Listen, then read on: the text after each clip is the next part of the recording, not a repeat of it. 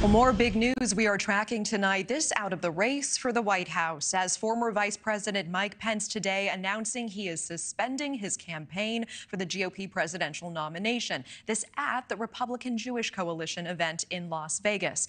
Aside from Pence's announcement, the main topic at the front of everyone's mind, of course, the war in Israel.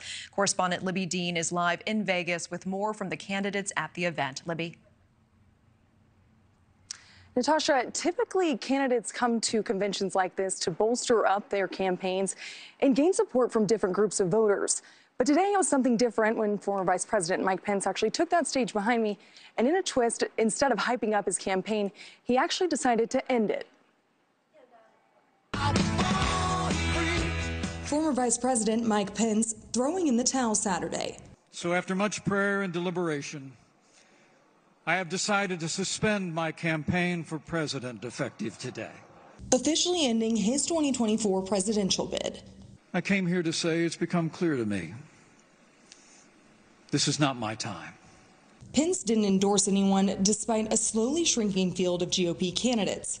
Now many wondering how his departure will shake up the race. Former UN Ambassador Nikki Haley, the sole White House hopeful to address Pence's resignation. You know, I want to first say um, just a special point to Vice President Mike Pence. He has fought for America and he has fought for Israel, and we all owe him a debt of gratitude. Other Republicans, meanwhile, focusing on the war in Israel. This reached a new depth for the depravity of mankind.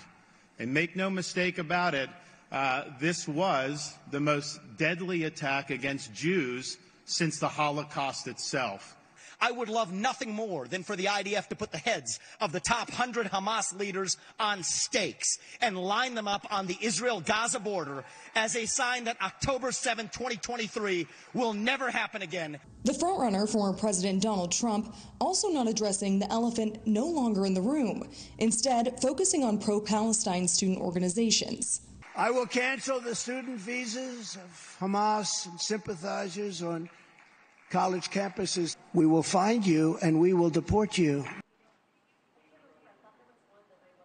Former President Trump is also scheduled to speak again in Vegas today, actually just down the road from here.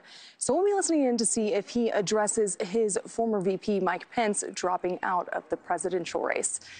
Natasha. Okay, Libbey Dean live for us in Las Vegas with that. Thank you so much. Thank you for watching. Go to newsnationnow.com to find News Nation on your television provider. And don't forget to click the red subscribe button below to get more of News Nation's fact driven, unbiased coverage.